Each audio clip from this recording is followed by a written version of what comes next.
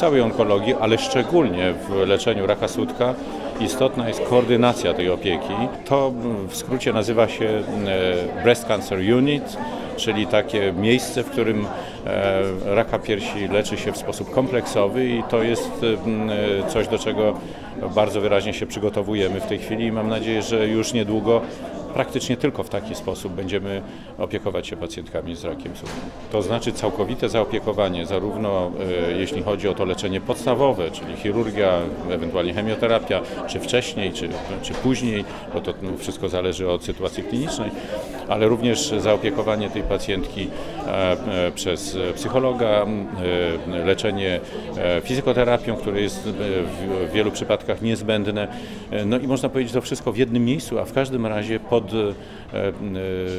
czy koordynowane przez jedną osobę, przez jeden ośrodek. To jest niesłychanie istotne dla komfortu, ale także dla skuteczności tego leczenia. Mogę powiedzieć, że już w tej chwili w niektórych miejscach to tak wygląda, a niedługo będzie wyglądać wszędzie.